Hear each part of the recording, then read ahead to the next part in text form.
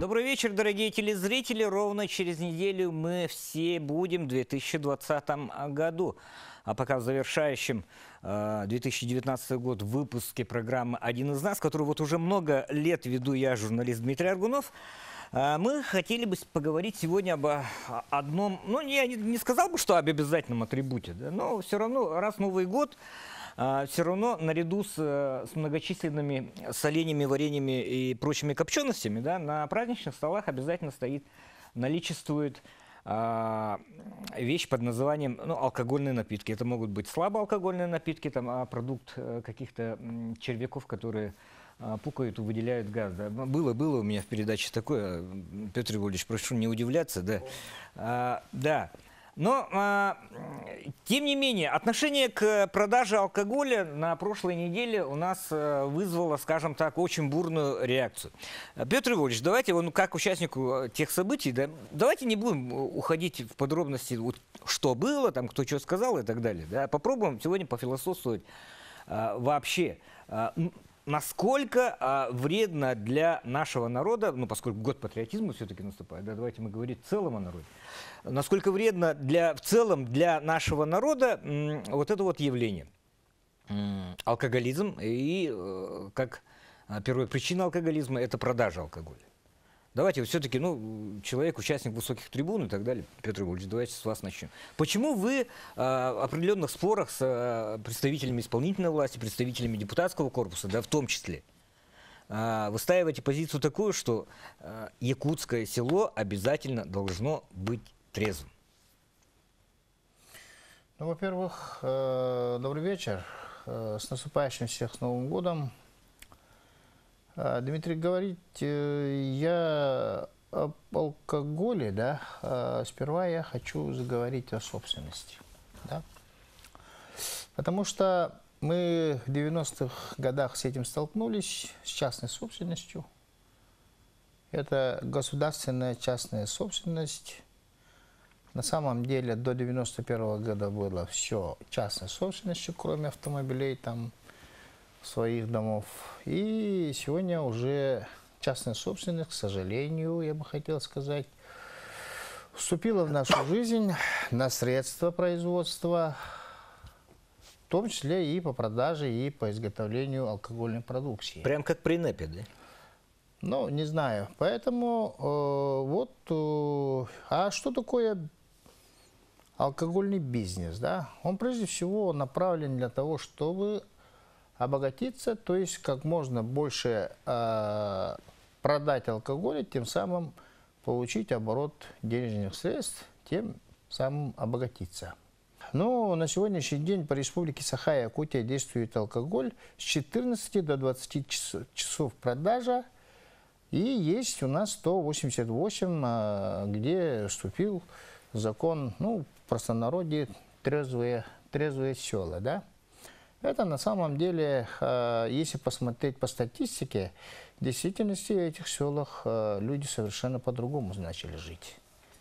Это официальная статистика, там и преступность никакой почти стала, да, вот где на пьяном угаре совершают преступления, этого практически нет в этих селах, и люди совершенно по-другому начали жить, между прочим. Э, вчера кто-то мне ссылочку кинул на один из сахоязычных форумов, да? не вы ли это были. Э, на китайском рынке, кстати, это очень э, одного из инициаторов, скажем так, отмены ограничений по части алкоголя, да? водка с 8 утра, преспокойно. И неважно кто там, китайцы, там, местные жители и так далее, могут вот это дело, плод запретный, который после 14 часов только будет доступен в свободной продаже везде, э, именно на территории столичного рынка, вкушать вот этот напиток. Ну, это на форуме висит. Угу. Да, ну, кстати, я ее еще не проверял, эту информацию, да. Надо будет проверить, действительно ли это так. Но э, то, что легально вот сегодня продают кафе, ресторана, да, но еще же мы хотели вот соответствие привести за федеральным законодательством, mm -hmm. то есть это по пути, например, кафешка, ресторан или там столовая, пожалуйста, продавай и пей сколько хочешь. Ну и считайте, сколько появится у нас э, ДТП после этого, дорожно-транспортных происшествий. Все равно кому-то захочется выпить. Если даже не водитель сам, ну, даже пассажир, а кому приятно это слушать? Или запах тот же чувствовать в своем салоне машины. Остановить его ГАИ, скажет, выпил, не выпил, проверять его надо опять же, да? Ну, в действительности окажется, что не выпил. Но все равно время это требуется по пути. Даже 15 минут задержали, но это все равно это время.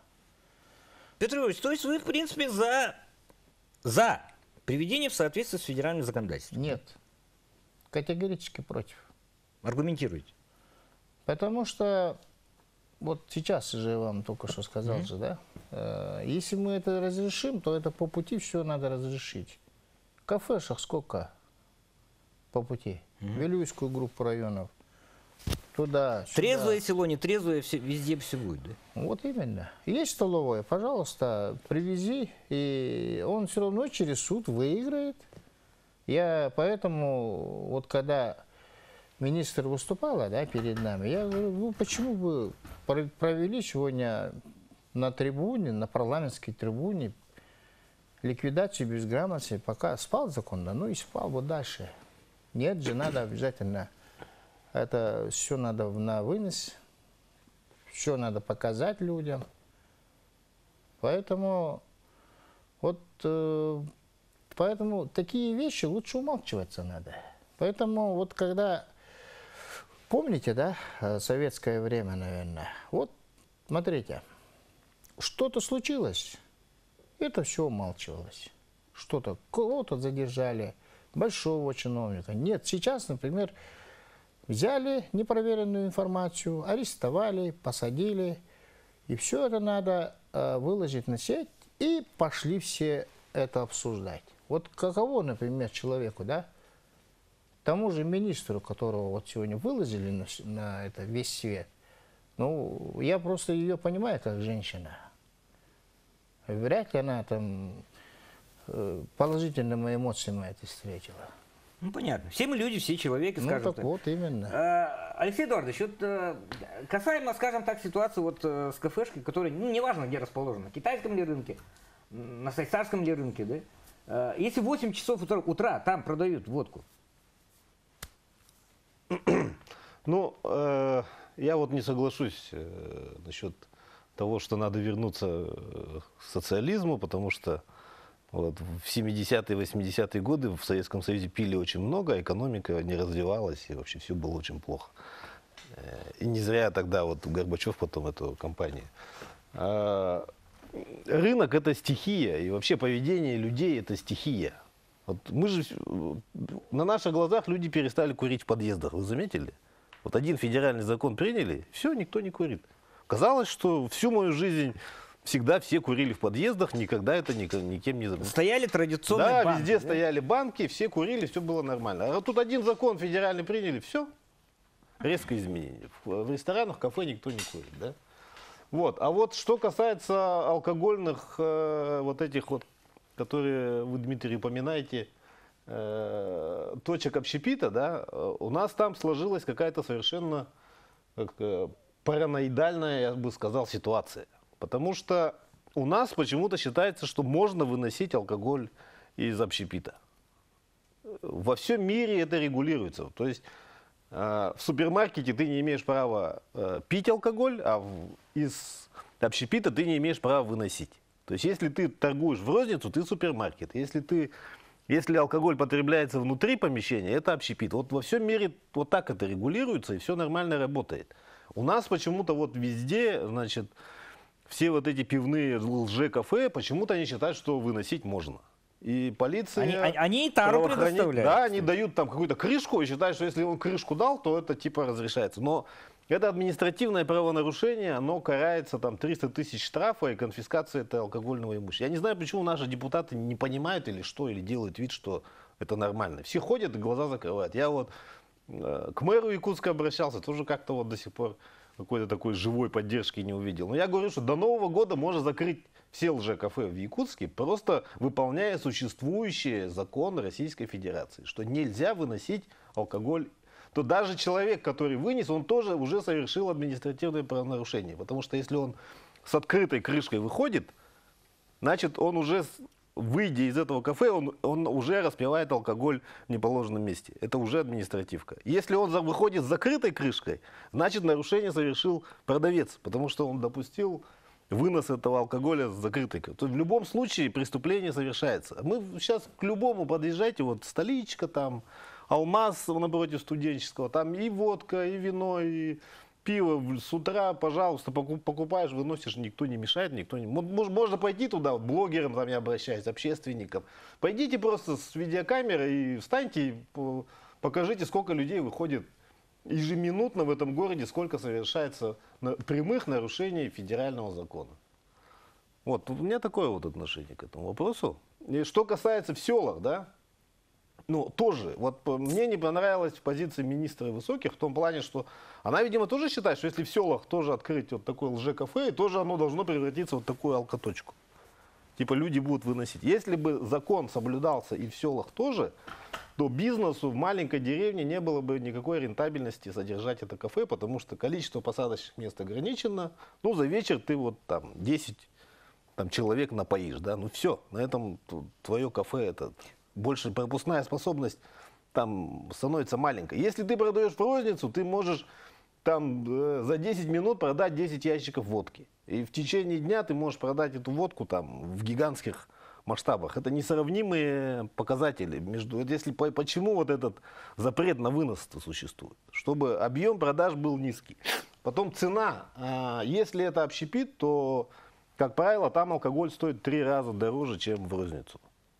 То есть люди, соответственно, в том же селе тогда смогут выпить три раза меньше, потому что ну, денег просто не хватит вот, по таким ценам покупать. И ничего такого страшного бы не произошло, если бы там Слушай, а вот, вот- вот ты страшные вещи говоришь, потому что говоришь, что в селе, где каждая, скажем, единица наличности и так ограничена, да, ты предлагаешь там продавать э, очень запретный плод по, со страшно дикими накрутками Ну, в кафе, в кафе. да, в, в баре. Не нарушая э, Да, пусть, пусть эти деньги пойдут на зарплату официанту, на бармену, там, что плохого. Нормально, на, на этому коммерсанту этому сельскому, который там. Вот малый бизнес, пожалуйста, на селе будет развиваться.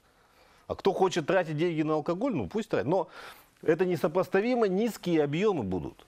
То есть вот эта точка общепита может, я говорю, очень маленькое количество людей споить, скажем так, за, за, за день. Чем розницу. Да, потом там будет охрана, там все будет под контролем, Ну, все будет нормально. Позвольте не согласиться с Алексеем Эдуардовичем, э, просто перед э, э, регламентной, скажем так, паузой я подытожу. Пе- Петр Черяев, который кинофицирует все, кинофицирует, да, не алкоголизирует, а кинофицирует все, с тобой бы не согласился по, по части того, что вот и так ограниченное количество денежных средств на селе лучше пустить на соцкультбыт, нежели на э, какой-никакой на бизнес. Увидимся сразу после э, паузы.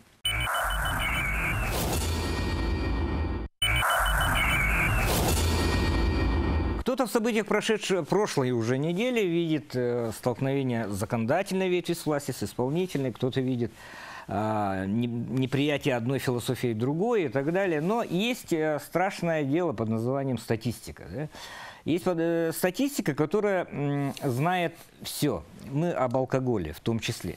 И э, наряду с э, многими обвинениями звучат также э, со стороны некоторых наших коллег и так далее о том, что социологи, э, в частности, уважаемый Юрий Жигусов, э, передергивают э, цифры, э, приводя, скажем так, в нужную им сторону показатели по республике Саха-Якутия, начиная с 2010 года, когда, собственно, и начались, скажем так, более-менее заметные ограничения в торговле алкоголем. Юрий, ну, вам слово, скажем так, была попытка обвинить вас в некой предвзятости. Что вы на это скажете? Ну, конечно, вокруг алкоголя, вокруг продажи алкоголя развернулась настоящая война. Но эта война началась информационной, да, очень давно. И вообще а, с разной периодичностью она вспыхивает с разной силой. Ну и последнее вот это событие в Ултымене, она подстегнула, да, был такой большой информационный взрыв вокруг этой темы. Ну что я хочу сказать? Я, во-первых, а, ученый, социолог, я оперирую объективными данными, данными социологии, социологических вопросов и статистики. А, То, что опубликовано в, открытой, э, в открытом доступе, да, я оттуда беру эти цифры и публикую, да, показываю динамику алкоголизации нашей республики, да, Или деалкоголизация. да, деалкоголизации. Да. Ну, если посмотреть по статистике, у нас самый такой, оказывается, да, сложный момент был не в 90-е годы, а первая половина 2000-х. Вот бурные 90-е, оказывается, у нас наступили позже. И по заболеваемости алкоголизмом у нас пик приходится на 2000 год и последующий до 2006 года. Да? Там был очень такой пик а, преступности, смертности и заболеваемости алкоголизмом. Но с 2010 года у нас идет все это на спад. Да? Вот. А, и по, ну, самый главный индикатор – это ожидаемая продолжительность жизни населения. У нас э, ожидаемая продолжительность жизни всегда была меньше, чем по России. Да? Но в прошлом году, в 2018 году, ожидаемая продолжительность жизни республики, нашей республики, да, и Российской Федерации в среднем, оно сравнялось. А среди сельского населения оно превысило российские показатели. Что это показывает? Что идет снижение алкоголизации, снижение потребления, и это благоприятно действует на продолжительность жизни. У нас говорят, что преступность выросла. Ну да, если взять голую такую слепую статистику да, зарегистрированных преступлений, то как бы это а, зарегистрированных преступлений как было а, стало больше, но у нас с 2016 года идет снижение, потому что были э, изменения в законодательстве, так, были криминализированы некоторые э, виды преступлений, да, вот, ну, повторное вождение в пьяном состоянии, да, это дало всплеск. И с 2012 года у нас э, статистикой строго занимается прокуратура. Раньше МВД Дело вед-? Да, ведала свое, да. там, и статистика была не очень качественная. Если возьмем в 2010 году, удельный вес а, преступлений, совершенных а, в состоянии алкогольного опьянения, 8%. Вы верите этой статистике, что из 100% преступности только 8 совершается в состоянии алкогольного опьянения? А сейчас... Может, 80? Нет, 8%. Это я своими глазами видел вот, э, в статистическом справочнике, который опубликован официально.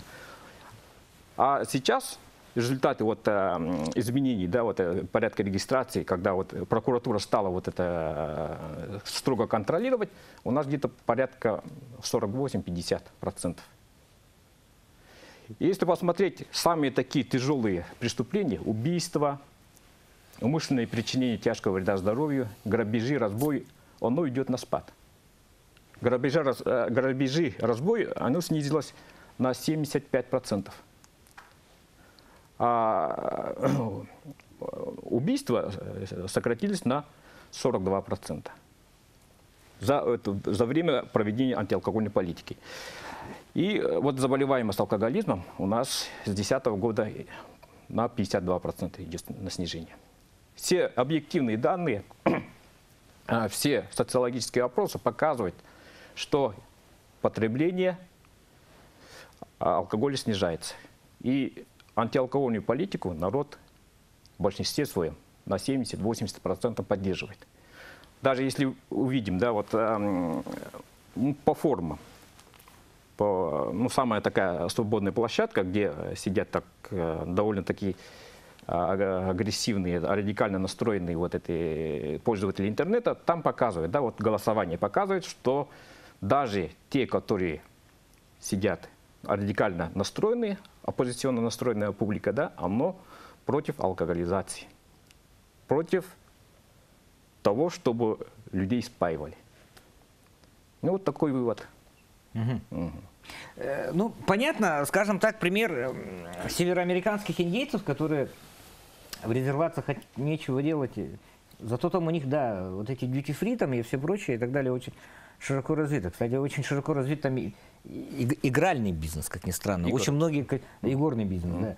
Э, Во многих резервациях э, казино не облагаются налогами, э, они там создают свои казино, ну, тоже источник доходов. Тоже источник доходов, да? Ну, это токсичный бизнес, да? Ну, Потому что... Как и алкогольный бизнес. Да, токсичный бизнес. И те, кто вот рядом есть, например, да, вот это, если рядом казино стоят, то и... Преступлений. Преступлений больше, да. И, наверное, вот э, какой-то резервации стоит этот, э, это казино. Не только, наверное, белые американцы там играют, да, и индейцы там свои деньги проигрывают, там спиваются. Ну, пример индейцев, конечно, очень такой негативный, да. И вот нас, наше вот, население, вот, народ УСХ нельзя сравнивать, да, совсем разные вещи. У нас есть свое телевидение, например, да, индейцев есть, есть телевидение, Ну, кр- кроме Да. испаноязычного телевидения, по-моему, ничего нет. да. И э, не знаем, например, там, э, там у литературы св- своей нету, да, у индейцев, э, государственных деятелей нету. Они просто сидят в своих резервациях, они ничего не делают, да, им платят деньги, и деньги эти проигрывают и пропивают. Ну, согласен. Я насчет того, что поддерживается э, многими, э, соглашусь э, по той очень простой причине, Юрий. Э, потому что э, социально активная часть населения это у нас кто? Женщины, прежде всего, да? Женщины, э, тем более если сельские, то там все вот эти эстафеты культуры, все спортивные и так далее, они поддерживаются и бл- существуют благодаря э, поддержке вот женского сообщества. А кому, как не женщинам, скажем так, быть э, во главе вот этого антиалкогольной общественного движения, да? Поэтому вот Но знаете, почему это? так, почему? Потому что женщины, э, когда у нас стали, стало, ну, вообще вот э, мужчины, когда они начали терять свои позиции. Раньше мужчины были очень активны общественными делами тоже, да. Если вот мы ездим по селам, да, вот такими лекциями, ну, то и, ну, по общественным делам, где-то 90-80% это женщины, да. А мужчины где-то там, ну, себе как-то очень, не очень активны. Потому что первая волна алкоголизации у нас началась с середины 60-х годов. За 20 лет, с 64 по 85 год, количество алкоголиков у нас в республике увеличилось 115 раз. 115. Да, Но тогда были ЛТП и прочие институты. да, были. Ну, первая волна, вот то, что вот а, м, понизила авторитет, статус мужчины, это алкоголизация. Женщинам пришлось взять часть функций, да, мужские функции на себя. И женщины, они знают, что какой, какая вот, эм, как алкоголизация разрушительно действует на семью. Если на семью, то на обществе. И поэтому наши якутские женщины, они в авангарде находятся. И они знают, что, да, вот какое зло собой представляет алкоголь. А, И, например, вот возьмем а, книги, да, вот на социальную тему, да, прозу. Магазин «Арбичик». О чем пишется? Там обязательно есть рассказы. Да? В каждой книге есть рассказ, как, а, как ребенок рос а, семья вот, алкоголиков, как а, жена всю жизнь вот, посвятила да? вот, э, свою жизнь, чтобы поддерживать мужа алкоголика. Таких примеров очень много. Да я, я не буду далеко ходить. Вот э, у нас за режиссерским пультом уважаемый Илья Михайлович Иванов, который в 90-е годы э, делал замечательные вот клипы, в том числе там э, на произведение Алексея Екатерины Егоровых и так далее. Да? Вот э, тема, э, режиссер согласится, что тема э, горькой, да, тема, э, которая пьянство, которое вносит разлад и разрушение э, конкретно в сельской семье, да, а поскольку все Не мы только в сельской. все мы, все мы родом из села, Да. но село нам ближе. Оно было тогда везде, в принципе, да. И еще раз, насчет первой волны алкоголизации, наверное, все-таки первая волна алкоголизации, она еще до революции была, да?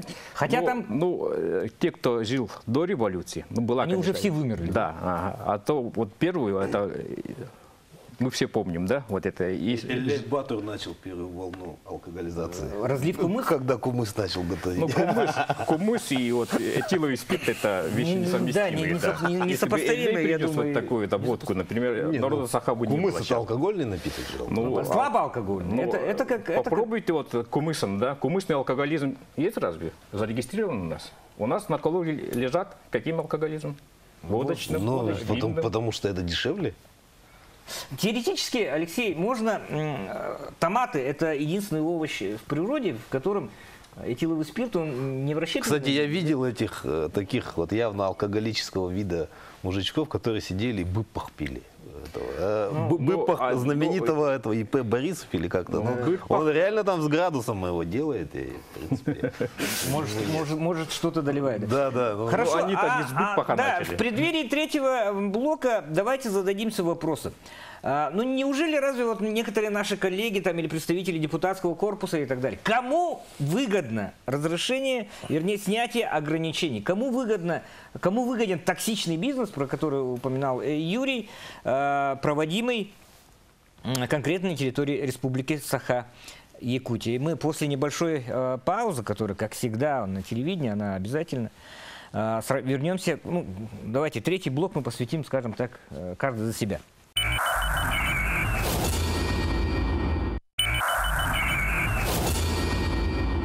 Мы продолжаем программу «Один из нас», в котором один из нас э, пытается разобраться, скажем так, э, в, э, средоточиях алкогольного бизнеса и той, и той борьбы, за то, чтобы наш народ э, пил меньше.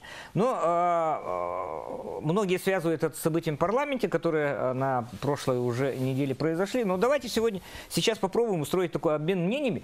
А кому выгоден-то все-таки вот, э, снятие ограничений под маской там, приведения в соответствии с федеральным законодательством? Потому что ну, федерал, федеральное законодательство федеральному законодательству рознь. Вот а, те ограничительные меры, которые э, мы впереди всей э, России приняли, да, это же становится общероссийским трендом. Согласитесь? То есть э, сейчас вот эти ограничительные меры, они по всей России. Государство начинает понимать, что начинает в силу алкоголизации терять часть своего работоспособного населения, который способны ему налоги платить. ник- никому не выгодно. Никому не выгодно. Я вот, я вот прокомментирую немножко Юрия, да. Да. вот то, что он до этого сказал. Э, Смотрите, вот убираем алкоголиков. Вот здоровый человек пошел на день рождения, да, выпил. На Там год. захотелось еще раз выпить, да, там уже когда он выпил. В это время свободно продается алкоголь. Он пошел, взял, еще выпил. Как человек, который никогда не пил, он не больной алкоголизм, он здоровый, такой же, как мы, один из нас, да. Выпил, сел за руль, пошел, и, и, значит, в результате и он погиб там, и еще люди погибли. Вот что мы можем получить. Если, в этот, мом- если бы в этот момент рядом у него алкоточки круглосуточно не было, он бы в нормальном состоянии, бы, э, в адекватном бы вызвал такси, уехал, и этого бы не произошло. Вот, вот что происходит э, вообще с, и почему э, смертность и продолжительность жизни, она за счет чего? За счет рано умерших молодых людей же происходит. Вот Да, это вот именно. как- Когда э, мужчины дольше живут, соответственно, не дерутся, не садятся за руль пьяными, не избивают друг друга, не устраивают этих пьяных вот. Это же тоже нормальные люди, это не алко... Вот э, я вот знаю алкоголиков, которые много лет пьют, и с ними ничего не происходит. Они умеют пить, они знают дозу, знают это, могут это. Вот. А, а бывает, что парень молодой впервые в жизни выпил и вот замерз там или еще что-то. Ну, таких случаев у всех у нас, все знаете, миллион. Вот в чем вопрос. Поэтому Но это, это, со- никому не выгодно, никто не застрахован от того, что если ты сам не пьешь, то ты можешь попасть, выйти на улицу вечером и попасться там на пьяную компанию или еще что-то. Да? Вот, вот в чем вопрос. Поэтому я думаю, что никому не выгодно. То есть косвенно, даже не пьющий человек может стать Да, жертвой и богатый, и Да. бедный, деревенский, городской, бедный ребенок, э, бо- любой, любой. Все равно он может, косвенно мы от этой проблемы все будем страдать. Ну, с социальной стороны вы рассуждаете, да? Как бы там с точки зрения здравого смысла, что э, вообще алкобизнес это невыгодный бизнес для населения, для государства. Но это очень выгодный бизнес для тех, которые Организовывают. все организовывают. Это очень такой высокомаржинальный, такой доходный бизнес. Так, ну где-то, я точно не помню, но вообще вот население Якутии где-то тратит на приобретение алкоголя где-то 15 миллиардов. Не, Я точно не говорю, но очень большая цифра получается. А, то есть оборот, э, Оборот, да, алкогольного рынка да. составляет примерно 15 миллиардов. Да, да. А мы тут а, о каких-то там двух миллиардах э, на рынке отделки говорим, да, Алексей? Э, Но на самом деле, а, Петр Иванович, а почему некоторые вот ваши коллеги, законодатели, да, они, а, радея якобы за предпринимателей, которым а, невыгодно торговать э, маргарином, м, хотят, чтобы они торговали алкоголем? Алкоголем. Алкоголь э, это зло на самом деле, да. Нет, если, понятно. если вы смотрите телевизор, да, вот там, например, прежде чем включить фильм, выходит такая э, Надпись. строчка. В э, данном показе будет использовано табакокурение, да. Но там всегда отсутствует, что частенько показывают, между прочим, как вот, например, крутой дядька там взял и выпил, да. Он на самом-то деле спокойно, вот он, ну, коньяк там постоянно пьют, да, вот эти буржуа наши, да, вот э, сейчас современные. С поэтому, Рублевки, да. И поэтому вот это над этим тоже надо подумать, прежде чем пустить какой-то фильм или э, какую-то передачу, тоже надо вот это по- показывать, что вы опасаетесь, будут сейчас рекламировать алкоголь.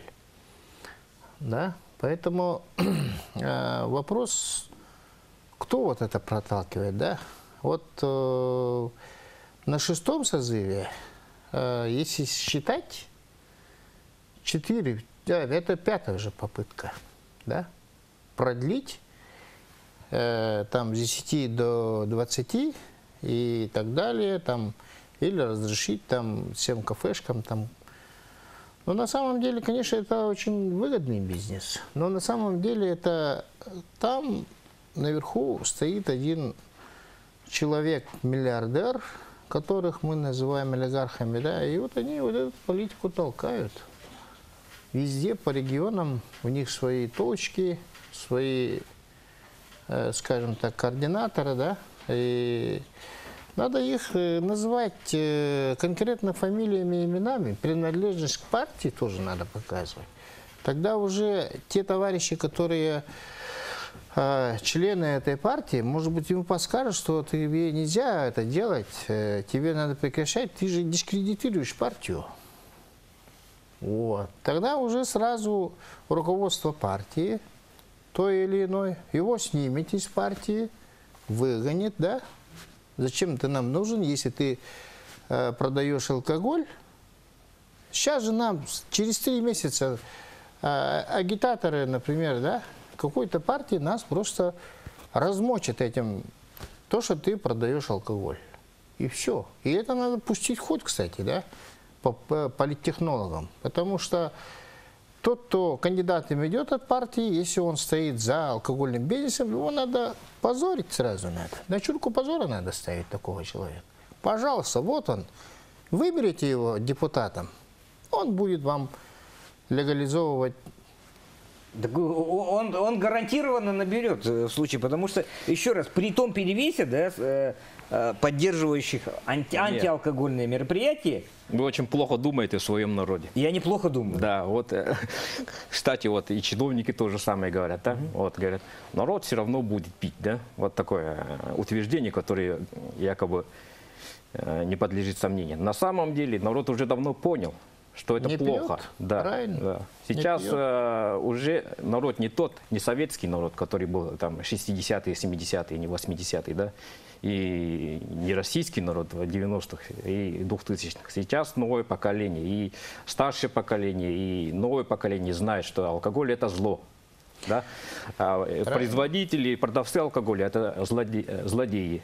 А те, кто способствует да, э, продвижению алкоголя, это депутаты, чиновники, журналисты, они способники зла. Вот. А можно я не соглашусь с тем, что это с такой вообще постановкой вопроса, вот алкоголики злодеи, вот продавцы Нет, алко- злодеи. Подождите, нет, под- подождите. А не алкоголики Вот злодеи, я, они я- жертвы. я привел пример, что вот в подъездах теперь не курят, потому что был принят один единственный закон. Вот. И все пристегиваются в Да, и все в машине пристегиваются. Я считаю, что если злодеи, то депутаты, прокуроры, судьи. Вот то злодеи, вот они алкогольный бизнес нормально не могут проконтролировать. А он всегда будет. Люди всегда будут пить в определенном количестве. Всегда будет Ну, торговля Новый год алкоголем. же. Это часть нашей Но, жизни кстати, со времен, со времен Эллей Батура. Это часть нашей жизни. И он никуда никогда не исчезнет. Но любое зло надо держать в каких-то рамках допустимых. И это ответственность депутатов в первую очередь, которые должны это все следить. А если это не делается, и почему ответственность перевалится на предпринимателей? Меня совершенно Я помню время, вот здесь э, проспект Ленина весь был покрыт этими игральными автоматами. Прямо от начала до конца. Совсем недавно это было. Ну, поменяли закон, все, нету игральных. Ну, хотя какая-то часть все равно остается, да. То есть бизнесмены, предприниматели, они идут туда, куда можно, куда закон им разрешает. Это не их Но нет, ну, моральная не- не- вина или да. что-то. Не каждый может торговать алкоголем. Не каждый предприниматель способен это делать. Нет, Лицензия и дорого что? стоит. Ну и что? Найдутся Нет, те, нет. которые да, из Есть других возможность. регионов приедут, будут торговать. Франшизы какие-то из- придут к нам, будут продавать. Ну, морально, э, моральный аспект здесь. Здесь конкретно нужна законотворческая работа. Я говорю, вот да, эти да, лже- лже-кафе можно закрыть еще к Новому году, можно в Якутске все закрыть. Можно я мнение? Да, конечно, свое? да. Если бы депутаты Смотри. поддержали, Нет. например, мою инициативу. Смотрите, вот э, помните 91-й путь, да? Яковлева такого. Вот он и сказал, что колхозы, совхозы – это рассадник коллективизма. Помните, когда село оставалось без работы, да, с подачи первого президента, мы всех разогнали, расфасовали, все раздали паи, и люди остались без работы в селах. Да? Это благодаря первому президенту Республики Саха-Якутия Михаилу Ефимовичу Николаеву. А теперь возвращаемся к курилке. Курилка это что такое было в советское время? Это место, где решались вопросы. То есть это своего рода был а, такой клуб. мини-островок, где решались вопросы и разговаривали. На самом деле курение, конечно, вредит, но не до такой степени, как алкоголь, да. И поэтому тот, кто курит, э, курил, он курит до сих пор. И вы думаете, если курилки разогнали и не стало курящих, вы далеко ошибаетесь. Не так на самом деле. Просто мы разогнали те места, где Они люди собираются. И те островки, которые назывались курилками, да, сейчас они на улицах курят, не знаю, зарабатывают туберкулез, да, на улицах. 50 градусов, он все равно пойдет курить. И поэтому я вот с этим э, особенно не согласен, то, что там курят, где там, не знаю, да.